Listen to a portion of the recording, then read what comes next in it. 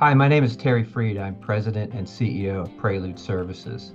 I'm here today to talk about the importance of giving to Presbyterian Senior Living. My organization feels that we have a responsibility beyond just providing service and employing staff, and that is to be philanthropic as well. This has helped us create a corporate culture where staff understand the impact of their work and connect more with their client.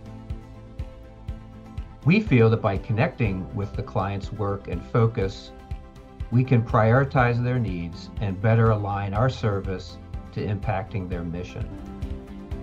Regarding the Resident Assistance Program, we feel that this is an especially important service to fund. Nobody wants to run out of resources at this point in their lives. But when it happens, it's good to know that there's a program there to provide for basic needs and eliminate anxiety and fear that may result. I would encourage everyone to think deeply about how to make an impact with their giving to Presbyterian Senior Living on Founders Day. Thank you.